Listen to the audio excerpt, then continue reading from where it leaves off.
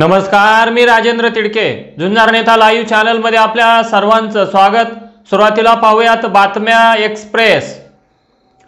आईला मुखाग्नी देऊन कर्तव्यावर परतले मोदी. बंगालच्या कार्यक्रमात व्हर्च्युअली सहभाग ममतांनीही व्यक्त केला शोक. हिवाळी अधिवेशन अडीच वर्षे बाहेर न पडणारा मुख्यमंत्री दाखवा बक्षीस मिळवा मुख्यमंत्री शिंदे यांचा उद्धव ठाकरेंना टोला प्रबोधनकारांचे वारस लिंबूटिंबूची भाषा करतात. शिंदेंचा ठाकरेंवर प्रहार उद्योजकांना टक्केवारी मागितली कंगनाचे घर तोडायला ऐंशी लाख दिले. अजित पवारांनी मुख्यमंत्र्यांना सुनावले ठाकरे शिंदेंच्या वादाचं आम्हाला देणं घेणं नाही राज्याचे हित बघण्याचा सल्ला. औरंगाबादमधील रिकव्हरी एजंटची मारहाण विधानसभेत रोहित पवारांकडून प्रश्न सरकार वसुलीच्या गाईडलाईन तयार करणार. अजित पवारांनी टोचले गिरीश महाजनांचे कान. सभागृहात अगदी डुलत डुलत येतात. निवांत असतात. काही गांभीर्य आहे की नाही?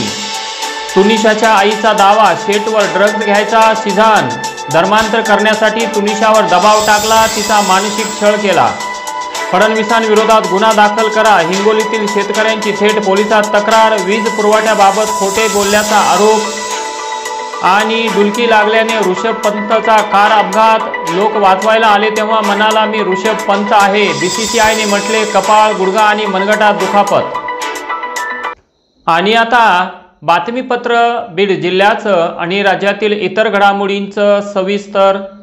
स्वामिल परवाना नूतनीकरणासाठी तसेच कोणतीही कारवाई न करण्यासाठी शहरातील सत्तावीस व्यापाऱ्यांकडे प्रत्येकी दोन हजार रुपयाप्रमाणे चोपन्न हजाराची लाच मागून पन्नास हजार रुपये स्वीकारताना वनविभागाच्या फिरत्या पथकातील वनपाल शेषराव सातपुते वनरक्षक संतोष जाधव चालक बिभीषण भालेराव या तीन कर्मचाऱ्यांना लाचलुचपत प्रतिबंधक विभागाच्या पथकाने रंगेहात पकडले होते. त्यांच्यावर पेठबीड पोलीस ठाण्यात गुन्हा दाखल करण्यात आला होता. या तिघांनाही काल न्यायालयात हजर केले असता त्यांना एक दिवसाची पोलीस कोठडी मिळाली.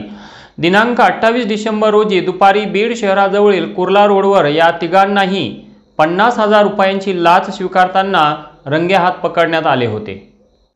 ऊसतोड मुकादमाने आपल्या राहत्या घरी गळफास घेऊन आत्महत्या केल्याची घटना आज घडली.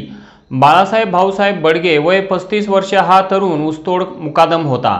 त्याने आपल्या राहत्या घरी गळफास घेऊन आत्महत्या केली.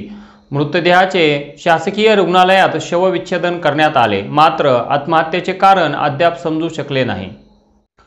वडवणी रोडवरील उपळीजवळ अपघात होऊन त्यामध्ये नितीन विठ्ठल नाईक नवरे वय बत्तीस वर्ष राहणार हिवरगव्हाण तालुका वडवणी याचा मृत्यू झाला. सदरील अपघात हा उपळीजवळील भरमटेक तांडा परिसरात झाला असून हा अपघात नसून घातपात असल्याचा आरोप मयताच्या नातेवाईकांनी केला आहे.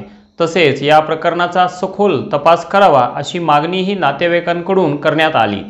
मयताच्या डोक्यावर आणि मानेवर वार असल्याचे सांगण्यात आले.